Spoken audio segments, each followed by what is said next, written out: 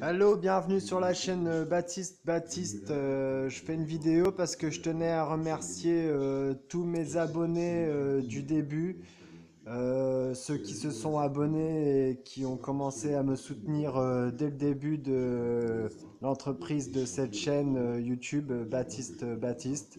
Donc en particulier Stéphanie Angel, euh, Tony 77, euh, Vanille 1964, El Coco, Dragon Cool Production, euh, Juste Lumière.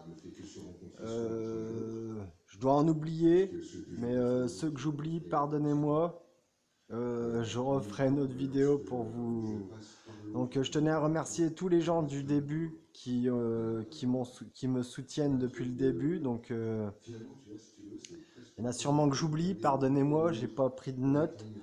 En tout cas, euh, vous vous reconnaîtrez et je vous remercie euh, de continuer à me soutenir euh, et je remercie aussi tous ceux qui viennent de s'abonner et tous les prochains qui s'abonneront aussi. Je voulais parler aussi du sujet des 144 000. C'est un sujet qui me qui me revient beaucoup, euh, qui revient beaucoup dans ma vie en ce moment, les 144 000, euh, alors 144 euh, 000 pieds dans les cathédrales au niveau des constructions, 144 000 élus dans la Bible, 144 c'est un chiffre très très particulier, très énigmatique et je voudrais en savoir plus. Si vous avez des si vous savez des, quelque chose sur ce nombre 144 000, n'hésitez pas à laisser des commentaires pour m'aiguiller. Donc voilà. Euh, je voulais aussi euh, vous parler de Frank Lobvet euh, et vous faire écouter sa vision de, de ce qui se passe actuellement au niveau mondial. donc je vais vous faire écouter en pleine gueule, tu te fais traverser par une émotion super forte qui peut-être répare des tas de choses, mais dans le moment-là, tu juste tu t'en fous. ça n'a aucune importance de savoir si c'est judicieux pour mon être ou machin. Je n'ai pas à, tout le temps essayer de voir l'aspect positif. Peut-être que vivre le mystère, le prendre tel qu'il est, ben, ça, peut, ça peut suffire. Je crois que on vit des fois des choses parfaitement inacceptables sur le plan de l'humain, et euh, ça n'est pas forcément judicieux d'aller regarder de l'autre côté pour voir la merveille qui est en dessous. C'est euh, à vivre. C'est à vivre. Et, puis, au-delà de ces à vivre, si tu veux, euh, ça m'est arrivé avec mon point de vue sur la vie de me rendre compte pourquoi un enfant, par exemple, avait trouvé judicieux pour lui de traverser l'énergie d'être abusé. Tu vois? Tu dis, ah d'accord, en fait, c'est ça qu'il est en train de chercher comme information d'évolution, et il en a besoin pour ça, ça et ça, et en fait, waouh, c'est magnifique. Puis tu te rends compte même que son bourreau, c'est son meilleur amour qui veut bien accepter d'être le salaud qui joue le rôle de, et ainsi de suite.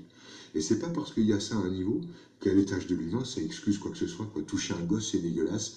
Point barre, j'ai pas envie d'en savoir plus. J'ai même pas envie d'en savoir plus. C'est dégoûtant, ça fait mal. J'ai plutôt intérêt à aller regarder ce que ça me fout dans les tripes et comment je vais pouvoir conduire ça plutôt que de trouver une bonne explication. C'est dégueulasse, à mon niveau, et moi je suis un humain, je suis pas à un autre niveau. Voilà, donc Franck Lobvet, hein, super clairvoyant. Euh, moi, à mon avis, va faire euh, beaucoup parler de lui, euh, ce monsieur. Alors attendez, je vais faire une bifurcation pour retourner la caméra sur moi-même. Moi-même avec un cœur, toujours. Donc Franck Lobvet, hein, comme Franck Lobvet, comme je viens de le dire, euh, c'est une connerie euh, du 2 avril 2018. Euh, là, c'est la partie 2, donc il y a la partie 1. Pour ceux qui sont intéressés par les causeries de Franck Lobvet, parce que c'est un personnage super intéressant quand même, il faut le dire. Attendez, j'écarte la caméra parce que vous allez voir une grosse tête, ça va vous faire peur. C'est un personnage super intéressant. Tout ce qu'il dit, ça résonne très très pointu en moi, très très fort. N'hésitez pas à laisser des commentaires alors j'ai parlé euh, des 144 000. Pour ceux qui connaissent euh, le sujet des fameux 144 000, alors je parle du nombre hein, en soi, pas forcément des 144 000 euh, élus ou quoi que ce soit. voilà. Si vous savez des choses sur ce nombre, n'hésitez pas à laisser un commentaire. Je remercie Tony77, Dragon Cool Productions, Stéphanie Angel, Vanille 1964 El Coco. Je remercie Phenotix Evolution, David Dada Benz. Je remercie Genska.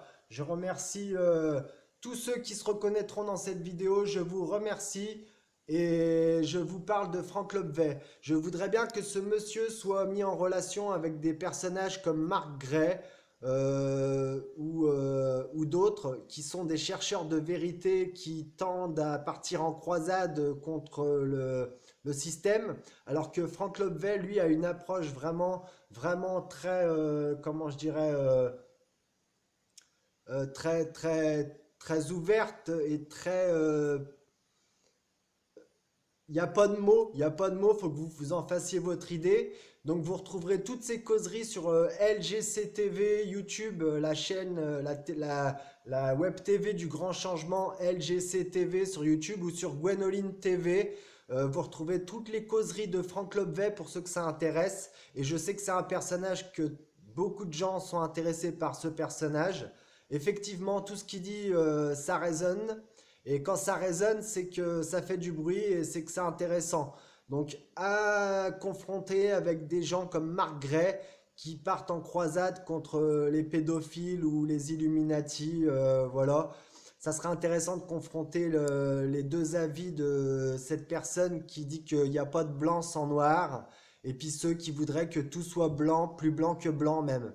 Donc voilà, je vous, remercie une dernière fois en vous disant bien à vous, portez-vous bien, merci pour le soutien que vous m'apportez depuis le début et n'hésitez pas à laisser des commentaires par rapport à ce que je viens de vous parler dans le...